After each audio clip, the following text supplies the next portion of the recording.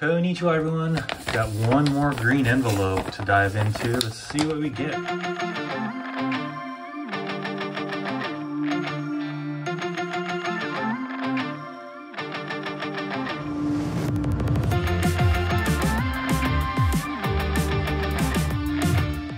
Hey, good morning everybody. Thanks again for tuning in. I got another green envelope here.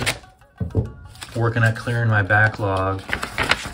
Thanks for tuning in and joining me.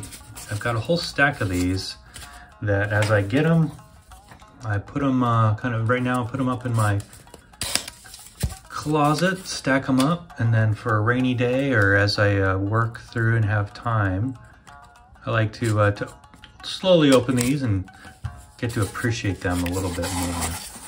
And as you saw in my last video, I've been working on postcards a lot more. Um, when I find them for cheap, or if I find a few from the same set, I'll pick them up just to try to catalog them.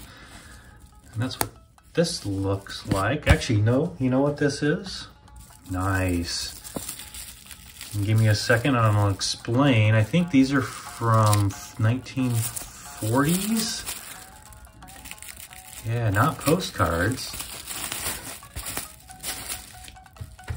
But very similar to postcards.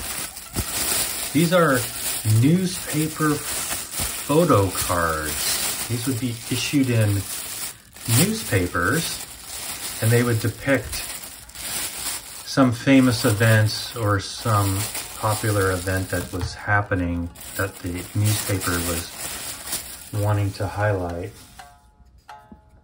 Nice. And they did this for a variety of subjects but a lot of this was very popular war subjects. Um,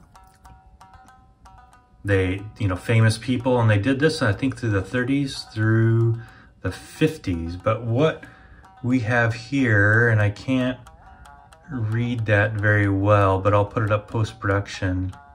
We have several rikishi um, that are fighting, and they would issue these in the newspapers and people would collect these photo cards uh, and it would explain here on the right what exactly was happening in the photo.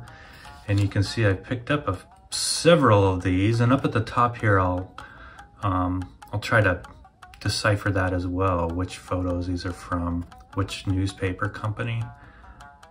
But yeah, that they would, again, issue these with the newspaper to help decipher, um, you know, kind of what was going on. You can see an older, this is the old Kokugikan with the, the actual pole there around the dohyo. But just look at how many people, if you can see in the background, just piled up in the back. Backs are blank on all these. I think typically they are but a great way, a little, again, about the size of a postcard, but a great little collectible that I plan on cataloging.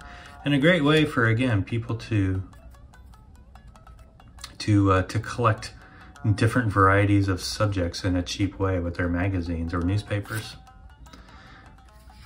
So it'd be interesting to see who I actually have here uh, which wrestlers I actually have. Right now, again, I can't read that, but hopefully I can go back to the original auction and maybe I can, uh, can find out a little bit. So there you are, newspaper photo cards from, I believe, the 1930s or 1940s. Thanks for tuning in. Sayonara. Bye.